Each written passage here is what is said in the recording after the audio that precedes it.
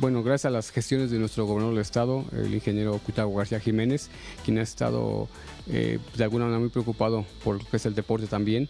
En ese sentido, estuvo ya eh, entablando relación en el, sentido de tener una colaboración ya con, la Comisión Nacional del Deporte, con CONADE, con la directora Ana Gabriela Guevara, asimismo también, pues en este caso con el presidente de la Federación Mexicana de Ciclismo, el licenciado Edgardo Chagoya, eh, pues nos dan la oportunidad ahorita en este momento y la confianza de poder llevar a cabo eh, el Campeonato Nacional de Pista, eh, que pues después de los Juegos Centroamericanos 2014, pues el velódromo de Jalapa pues, no, se, no se había utilizado. Eh, aprovechando esta oportunidad de llevar a cabo este evento, pues nos eh, coordinamos con la federación, como nos indica el gobernador, y pues eh, nos solicitan la posibilidad de hacer un campamento de preparación para la selección nacional